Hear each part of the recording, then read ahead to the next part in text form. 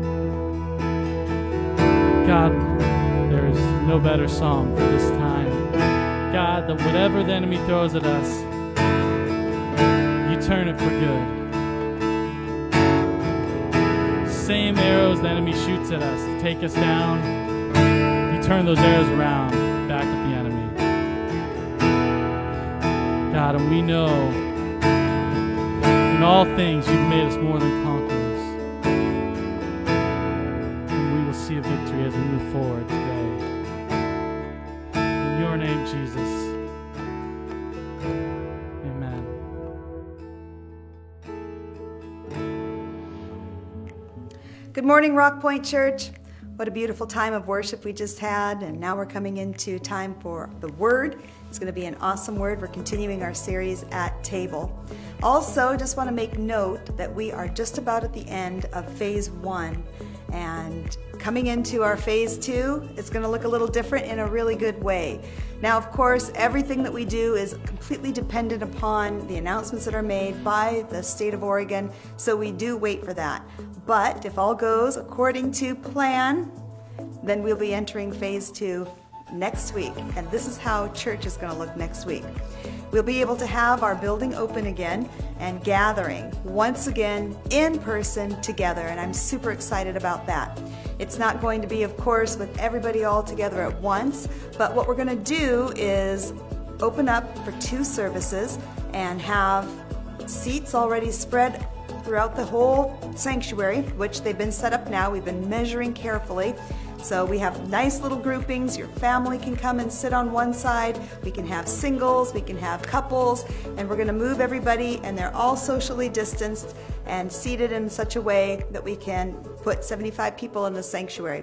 And then we'll take a break in between after that, disinfect our common surfaces, and then we'll have our second service with the same amount of people again, 75 allowed into that gathering as well. And we're going to try that out and see how it goes. And I think it'll just be really awesome to be able to see some of each other's faces, to worship together, and take part in a live service. But having said all that, I do want to just make you aware that we are going to continue doing online services and you are free to make the choice that is right for you, for your family. And we just support you in that. And we're excited to offer both live and online services. And we're going to still do our online service for those of you who prefer to stay home, that's going to be there, and we will wave to you and say hello and make you feel as much part of us as we possibly can. So we want you to just be in prayer about that, talk to your family members, make that choice, and know that if you do choose to come to the church, that we're going to do everything within our ability to make sure that our church is safe and comfortable and welcoming and flows with the phase two plan that the Oregon government has set out for us. So, Another good thing for youth, though, is as you know, the youth has already been meeting because they've been having groups of 25, but they are going to shake it up a little bit this week. And so on Wednesday, instead of doing our middle school and then our high school, we're doing something different, and the girls are going to meet first. So, girls, you're going to meet at 6 o'clock until 7.30. Then there's going to be a break in between. And then, guys, you're going to come at 8 o'clock and you're going to meet for the next half of that group. And so we're gonna just shake it up, do something fun, keep it fresh, keep it exciting. If you have any other questions, make sure you just send a message to Pastor Thomas and Melissa and you can get all the information there. As for our Kids on the Rock, we will not be doing Kids on the Rock while we have our live in the church building services. We're going to continue doing those online as well. And so, kids, I want you to still tune in and watch the lessons that come online for you. And then also don't forget that right after this service here, you're going to be Zooming. Okay, so as soon as church is over, the boys are going to Zoom with Daniel Moltop, and then after that, the girls are going to Zoom with Colleen Moltop at 1145. As for our tithes and offerings, I just again want to thank you for your generous giving. We have not wanted in any way, and we've been able to do some really cool things to bless people too. We've been able to bless people in our congregation financially, and we've also been able to bless our community. And we've had a group of ladies together putting together care packages for some of our nursing homes and retirement homes who are really shut, locked in at this time, and just being able to reach out in some practical ways. It's been really awesome. So I thank you for giving and just want to encourage you to go online and do that. Or if you would rather mail your checks, you can mail your checks to 4301 North College, Newberg, Oregon 97132, or you can go right through the church website and do it online. So thank you very much for your generous giving.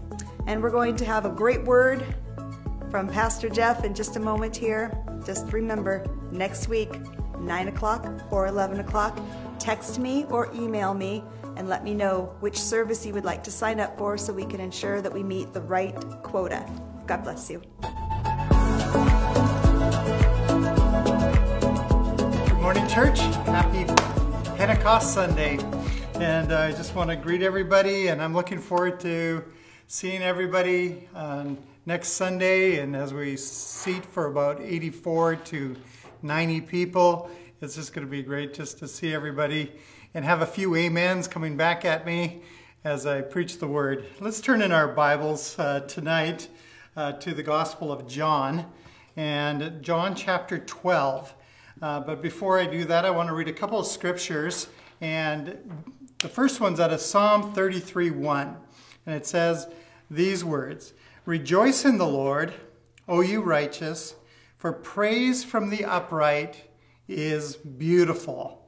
And then Psalm 147 1 says these words Praise the Lord, for it is good to sing praises to our God, for it is pleasant, and praise is beautiful. And this morning I want to talk about at table uh, conversations with Jesus. I want to talk about worship, the area of worship. And here in the Psalms, he's talking about worship or praise is beautiful. It's just not good. It's just not a, a moral ethic. Hey, this is right and you better praise the Lord. It, it is the idea of beautiful. It's lovely. There is a picture of artistic. It's like a, beautiful painting that has many colors on it and many layers. Uh, and then the painter goes to work on it with all the hues and creates a beautiful, beautiful uh, picture. And in the same way, when we gather together and when we're worshiping in our houses together, uh, there is just a uh, overlap and beautiful display of God's grace and His mercy. It is beautiful. It's a beautiful thing. And I just want to repeat this phrase, and this is sort of my main thought today. It's a beautiful thing when the worth of Jesus and the love of his followers match. And I want to say that again. It is a beautiful thing that when the worth of Jesus and the love of his followers match. Now, let me read from John, the Gospel of John, chapter 12, verses 1 through 8. Six days before the Passover, Jesus therefore came to Bethany, where Lazarus was, whom Jesus had raised from the dead. So they gave a dinner for him there. Martha served, and Lazarus was one of them who was reclining with him at table.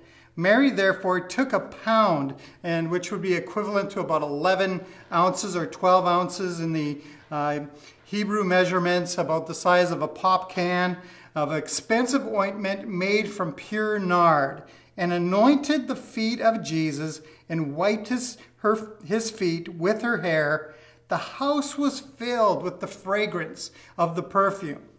But Judas Iscariot, one of his disciples, he who was about to betray him, said, Why was this ointment not sold for 300 denarii and given to the poor? And he said this, not because he cared about the poor, but because he was a thief. And having a charge of money bag, he used to help himself to what was put into it. Jesus said, Leave her alone, so that she may keep it for the day of my burial. For the poor you have with you, but you do not always have me.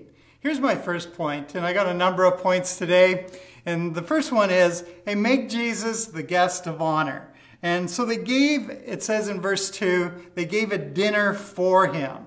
there, and Martha was served. Lazarus was one of the, them reclining on the table. And so we see Martha once again. She is serving uh, Jesus. And it, it's like a um, celebration. It's a sort of a Thanksgiving meal, an appreciation dinner. It's a, where Jesus is the honored guest. Martha is serving Jesus or loving Jesus through serving. It is not a negative here. And also, you see um, uh, Martha later on in this story, and she will uh, break open the, the, the, the, flask and just spread it on Jesus. She serves him through, in an area of worship. And then you see Lazarus.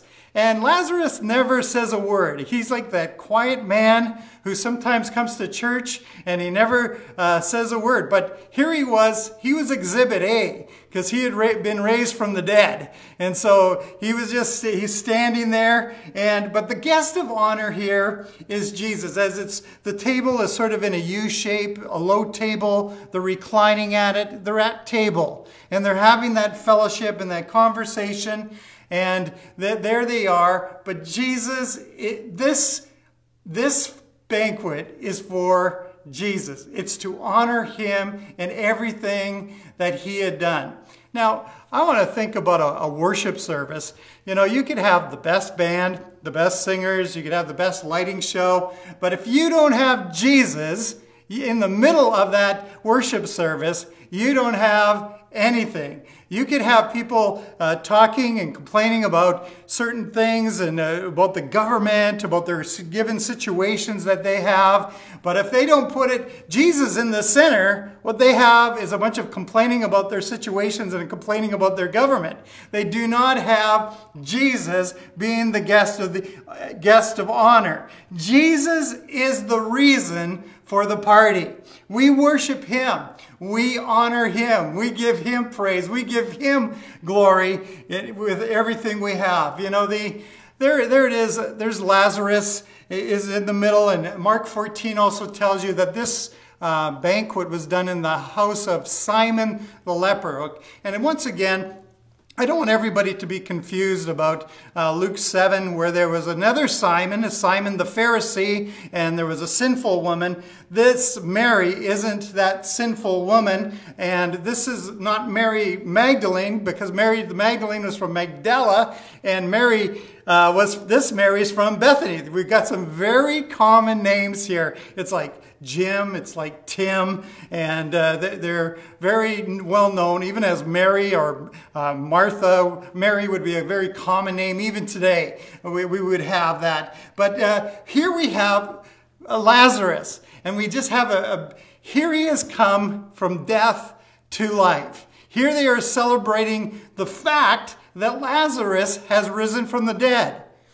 Hey, hold it. Wait a minute here. I know some other people who have risen from death to life.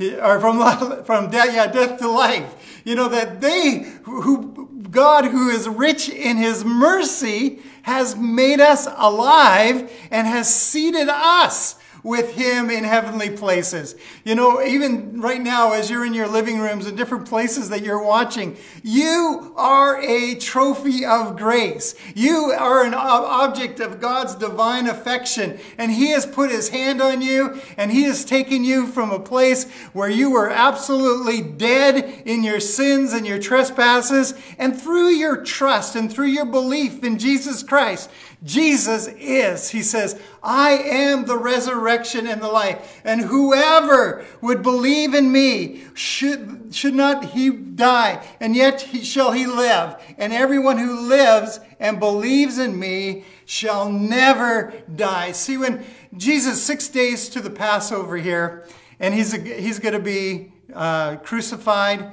then he's going to be buried, and then he is going to rise again. And when he rose again, that power of that resurrection was the beginning of new creation life for all people. When people began to put their trust in him and began to surrender their life and recognize him as their king in their life, his life became their life inside of them. He came and lived inside of them and he gave them new life. And that is the beauty and uh, of grace that we all share and celebrate in. And then also there was a leper there, and you know he had this infectious skin disease, and that, made him an outcast. But Jesus somehow it doesn't say here in this narrative or in Mark 14, but it's somewhere along the way he's cleansed as a leper. He's healed. Here's this guy who was an outcast is brought into the covenant community of God. And maybe today you feel I am an outcast. I don't belong anywhere. I want you to hear today Jesus wants to touch our, li- our life. By the blood of Jesus, He wants to cleanse us of all unrighteousness, cleanse us, and bring us into His family. Jesus' arms are wide open. We are all the objects of His grace. You know, we just want to celebrate and worship that today. But moving on, in verse 3, I, this is my third point here is don't be a dabbler. Okay? Mary therefore took a pound of expensive ointment made from pure nard and anointed the feet of Jesus and wiped his feet with her hair. The house was filled with the fragrance of the per- perfume. Enter Mary here.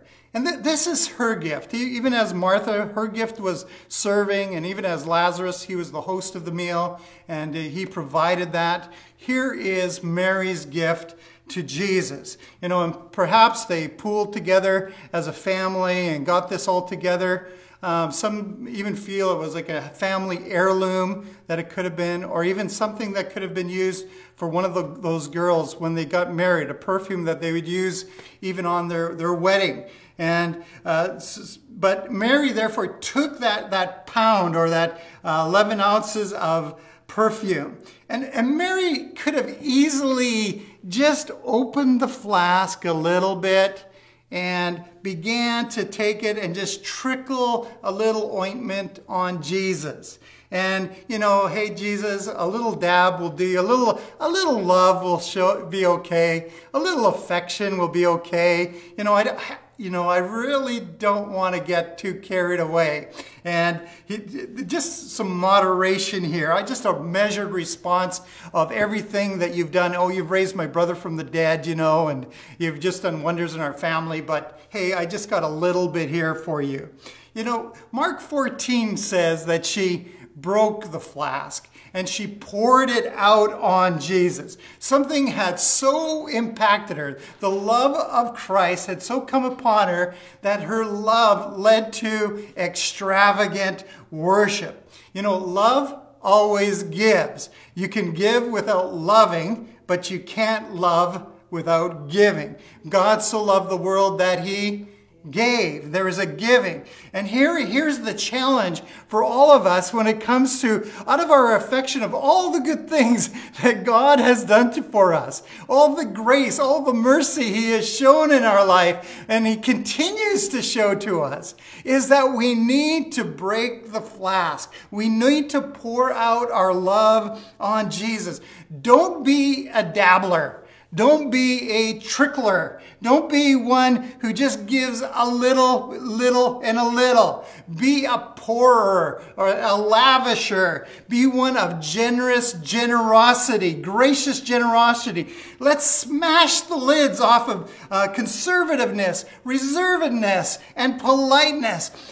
People, Okay, imagine next Sunday when we're all together. Surprise your wife, okay? That you are actually a just a lavish worshiper. And those who sit around you in church without uh, yeah, be, being pretty good. But be in Psalm 9:1 it says, I will praise you, O Lord, with my whole heart. I will tell of your marvelous works. That idea of the whole heart is with the, the, the heart, with one spirit, spirit to spirit. You're connecting with the Lord, but also mind to mind. It is like you're, you're thinking of the words of God as you're worshiping and singing. And also then you're uh, connecting your uh, body and you're saying, hey, everything, Lord, belongs to you. If you need me to sing or, or dance or shout or lift my hands, Lord, I am willing to do that. I am worshiping you you with my whole heart. And I like this one, Psalm 1111. Psalm 111, 1. I will praise the Lord with my whole heart.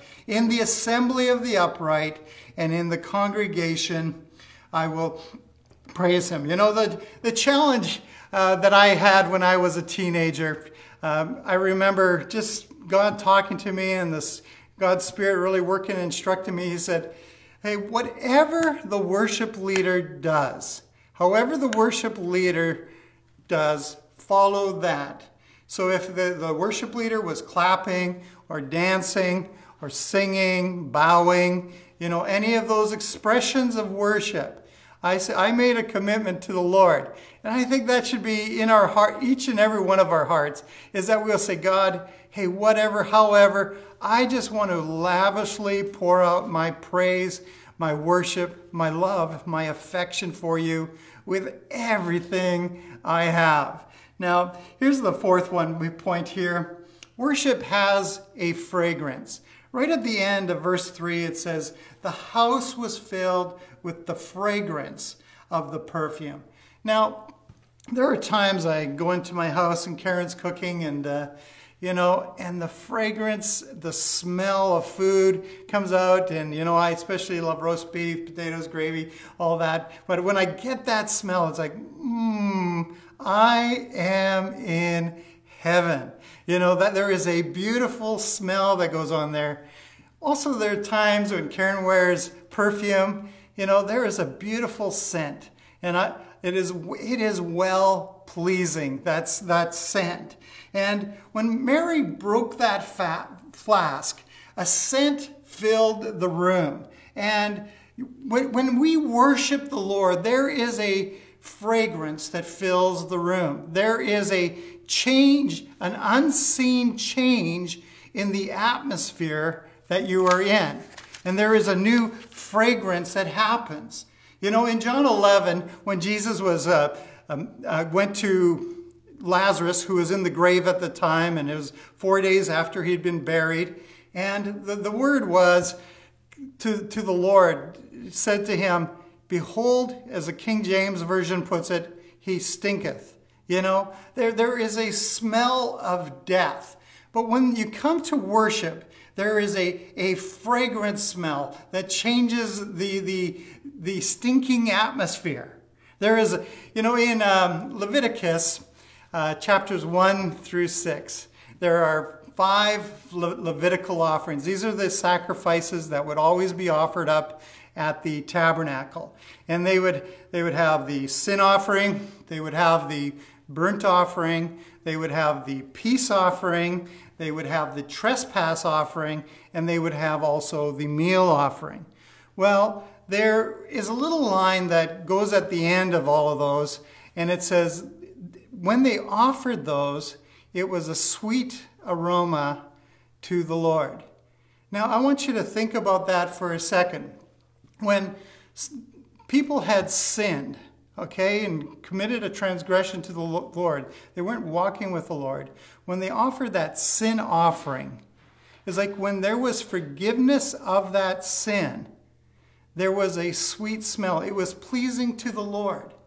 And when they did the peace offering, which was when somebody broke covenant relationship with the community, there would be a sweet aroma when there was a burnt offering, which was a picture of them dedicating themselves to the Lord, offering themselves up, up to the Lord completely. Like Romans 12, 1 says, I, I beseech you, brethren, by the mercies of God, that you present your bodies a living sacrifice to God, holy and acceptable, which is your reasonable service.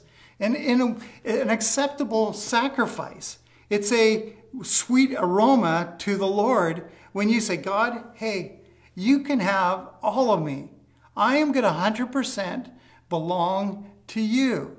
And in the same way, when there was trespass offerings, and trespasses dealt with dealing with right relationships with one another on a vertical plane. And when those right relationships were off, and they, they did a trespass offering, it says those trespass offerings, there was a sweet aroma. And here's what happens when you get right with people that there's been wrongs to, and maybe it's restitution or asking for forgiveness, there is something, there's a fragrance, and it actually smells well. It's pleasing unto the Lord. And then there, there's a last uh, sacrifice they would give there in Leviticus was the meal offering. And the meal offering was a representation as an agricultural uh, economy, and they would give, give their grains to the Lord and from, from the work of their hands. And so for us, you know, that's our time, that's our, our skills and our giftings, and it's also our resources. And we're saying, hey, Lord, this belongs to you as well. Lord, I am, I'm going to serve you with what I got. Okay, God, I'm going to give that unto you as well. And you know what God says on that one? He says, hey, that's a sweet aroma. Hey, those sacrifices, those sacrifices of our service, and our sacrifices that we make in relationships and our sacrifices that we enjoy with what Jesus has done, they're well pleasing unto the Lord. And when we pour out our life, when we pour, it pour out our sacrifice and our worship unto the Lord, hey, there is a unseen change of the atmosphere. I know at times I've gone into churches where there's uh, some bickering or some division. the air sort of stinks. But then you can come back to that place when there is unity, there's harmony in relationships, things have been worked out. Hey, there's something that has changed in the air. And God wants us to know that there is a fragrance. Worship has a fragrance, and we pour out our lives. Here's the, here's the next one.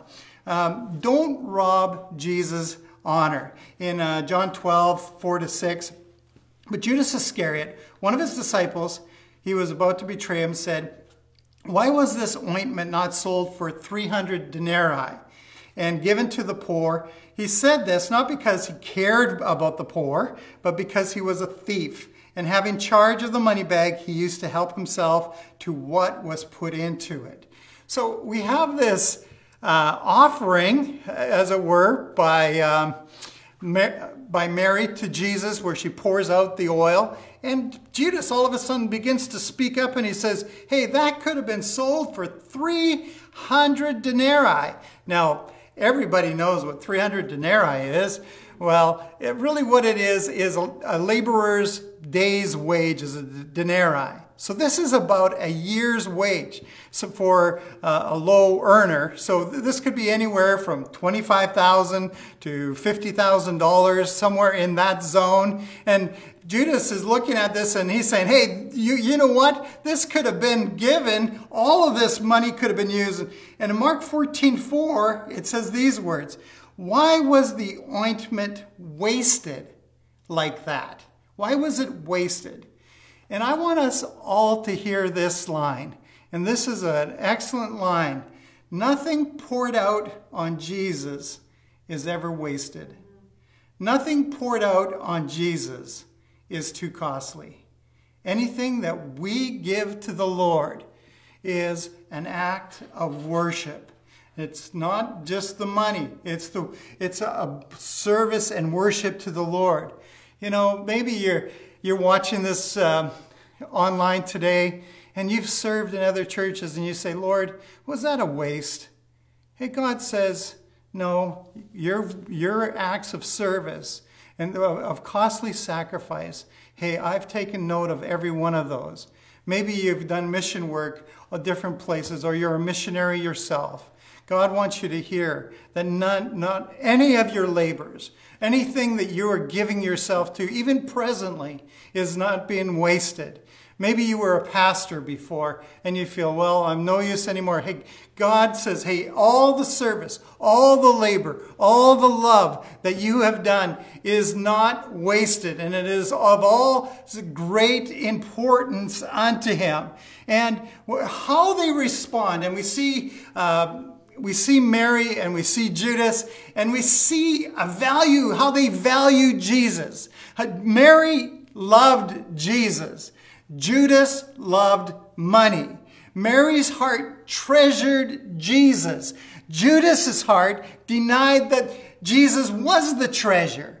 And the, the opposite of a spirit of abandoned, extravagant worship is a spirit of betrayal. Well, hey, what was it worth it? You know, someday we're going to be all in heavenly, heavenly realm and there, there's Mary and all of a sudden we'll be introduced to her and we're going to ask her, Mary, hey, was it worth it that day? You're in that room and with all those other people and you put out that 300 denarii, 300 day wages, uh, that oil on top of Jesus. Hey, Mary, really?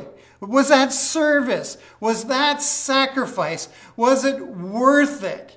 Well, the answer to that one comes in Revelation. In Revelation uh, 5.12, we read these words. First, uh, someone's crying out and they say, and they're weeping and say, who can open up the scrolls? Who can open them up? And then in Revelation 5.9 it says, and they sang a new song saying, you are worthy and to take the scroll and to open its seals. For you were slain and have redeemed us to God by your blood out of every tribe, out of every tongue and people and nation. And verse 12, saying with a loud voice, Worthy is the Lamb who was slain to receive power, riches, wisdom, strength and honor, glory and blessing. I want you to understand Jesus is worth every sacrifice. He's worth every act of love. He's worth every act of worship, every dollar spent, every mile driven, every minute given.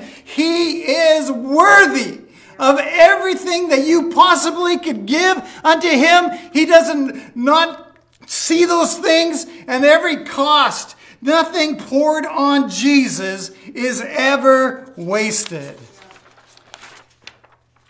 Well, this brings us to the last point here. And it says, Leave her alone. In verse 7, Jesus said, Leave her alone, so that she may keep it for the, the day of my burial.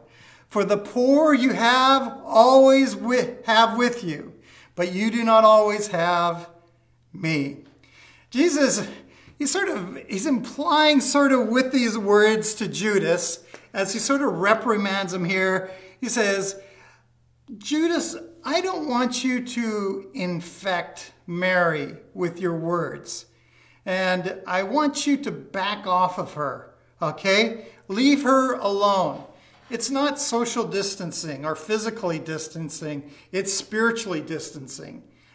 Judas, I don't want you to have anything to do with her. Let her alone. Stay away, save lives, people. Stay away, don't contaminate her faith and her passion. Judas, you be quiet. Let her get on with what she is doing for my burial because she is serving.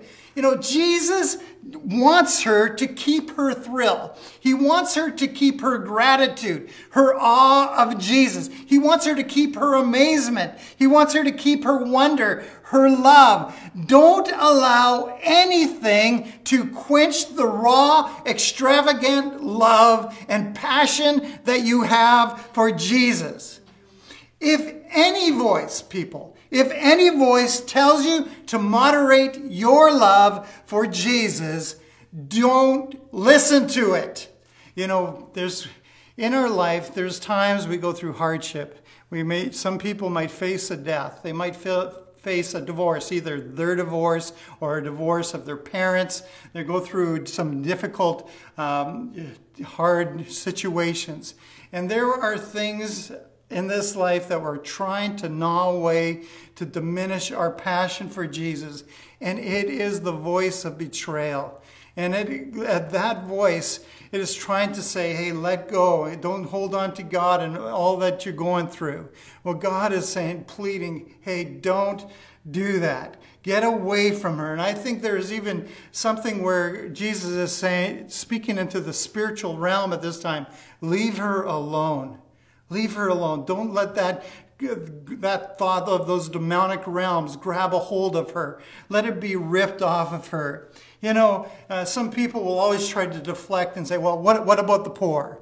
You know, what about uh, this? What about that? You know, Jesus is saying, hey, right now, in this time, in this moment, hey, what needs to happen is there needs to be a lavish worship and pouring out of, of one's heart, life, and service for, my, for, for me.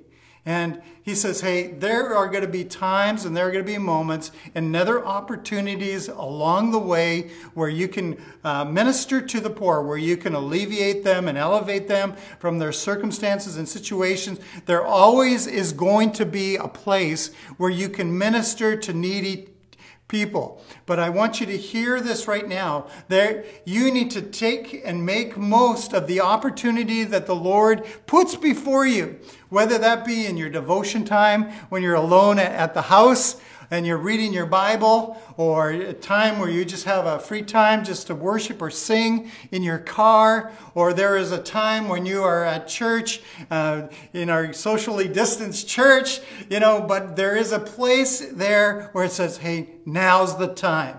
I need to pour my love out with everything I have because there is one who is worthy of all praise, honor, glory, and worth everything that I have within me. And I, he deserves my praise, and I need to pour out my heart and my life to him forever and ever. It is a beautiful thing, people, when the worth of Jesus and the love of his followers match. The, the Lord's grace has touched every one of our lives. Lord, there his mercy and His uh, grace is there. And we are just to walk in that, hey, break the flask, people. Pour out your love to Jesus. Pour out your heart and soul to Him. Let me pray for you today. Father, I just thank you uh, right now uh, for RockPoint Church. I thank you for every life, every soul. Lord, I'm thankful that the grace of God has intercepted and intervened into our lives. Lord, we were dead in trespasses and sin. You have made us alive in Christ Jesus. Lord, we are so thankful. Lord, we were outcasts, but you have brought us into your, your family through Jesus Christ. Lord, we thank you for new creation life. Lord, I pray right now for all of us, Lord, that we would bask in the wonder of Jesus and that every one of us would pour out our hearts, our lives, our being in total devotion with extravagant affection, with a total display of honoring and worshiping you with everything we have. Lord, we love you and we want to serve you all the days of our, our lives by, by your help. In the name of Jesus. Everybody said, Amen. Well, God bless you today. Love one another. Grace of God be with you. See you next week at church, God willing. If not, we'll, you'll watch us online again on live stream. God bless you.